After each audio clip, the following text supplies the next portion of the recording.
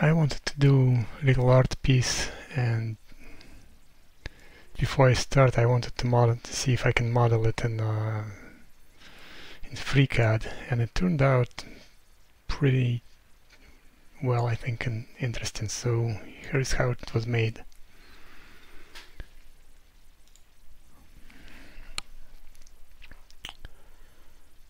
So I'm new to free FreeCAD, just installed it yesterday, but I, I love what I see so far. There might be some way to do it easier, but this is how I do it.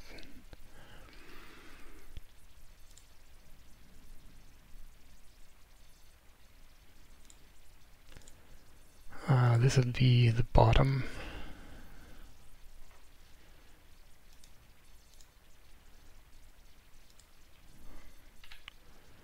go inside the point. Make it um, no not this one. Make the radius of say 2 that's it. All constrained so close.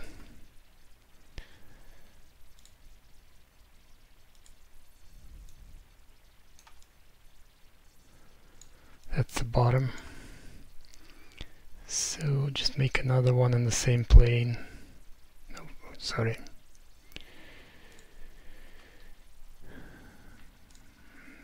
Need to do it from here. So another one in the same plane. Another circle. This one a little bigger.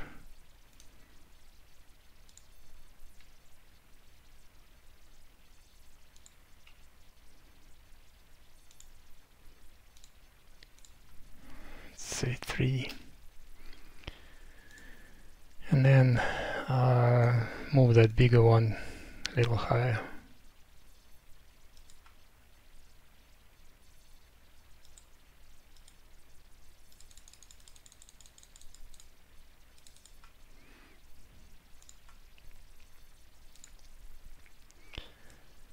This is where the rods would be attached and the interesting part is um, after they are attached I can move or change the size or change the number of them or change the angle of rotation.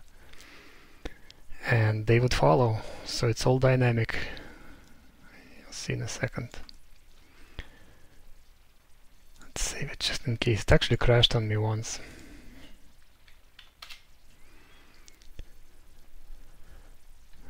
So okay then make another and this so I'll rename them. So this would be top. This would be bottom. So to give that rod direction I make datum plane from from this point to this point. This point. So now that it's attached the interesting part is this. I can take this top sketch rotate it any number of degrees even if it's and the datum line is rotating alongside with uh, with the sketch.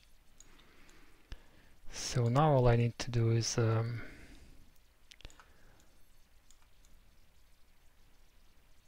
make a datum plane that's attached to that line. So I'll use the first reference would be the line itself and the second reference would be that vertex.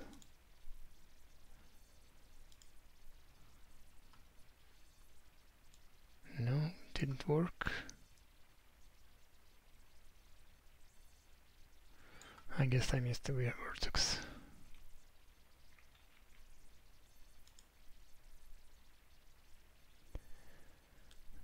Let's give it another try. So the datum plane, first line, then the vertex. Alright, okay, so it needs to be different different attachment method, normal to edge. Okay.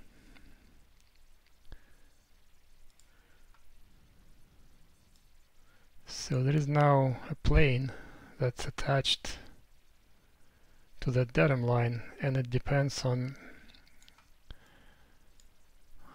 uh, entirely depends on the top sketch. So if the top sketch rotates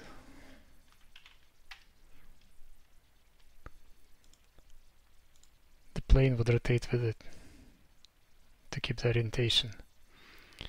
So now if I do select this plane and do another sketch on it it's very simple another circle coincide the points change the radius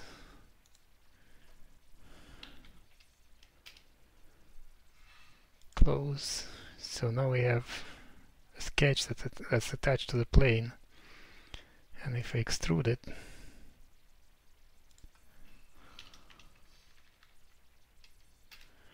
we get this nice road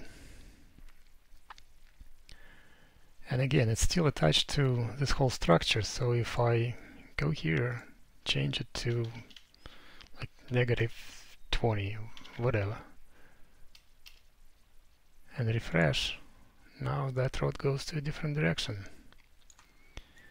So now the only thing that's left for some reason they need to be tied to a solid. So what I do is I, I get this bottom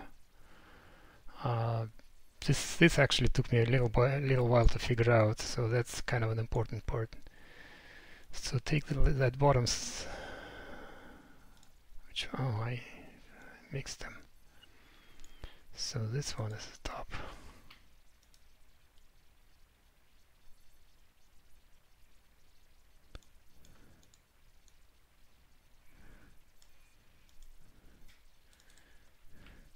This is the top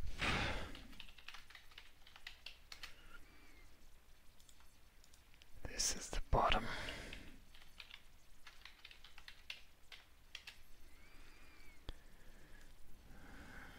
so yeah so that that the, the fact that I, it needs to needs a solid to tie them all together at the bottom took me a while to figure out.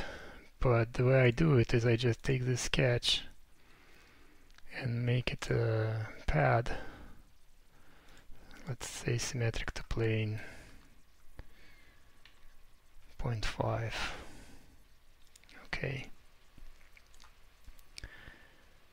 So now we have this road and to make this interesting artsy shape out of it all it takes is just selecting that path that let's rename it so I don't confuse it road. So getting this road getting uh, polar symmetry feature add the road to it. It needs to go along z-axis and now just set how many we want of them. Say 10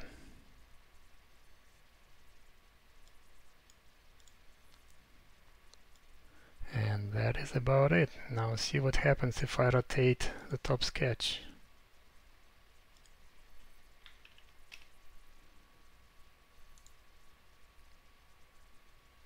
voila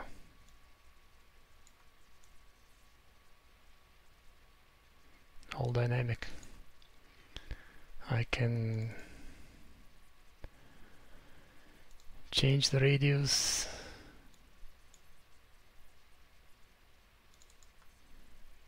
To something crazy like 10 and it's still going to work.